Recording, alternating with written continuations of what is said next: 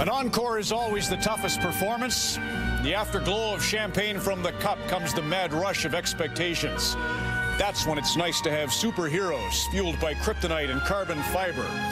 He who doubts the Pens is guaranteed comic results. Tonight, they roll into Toronto.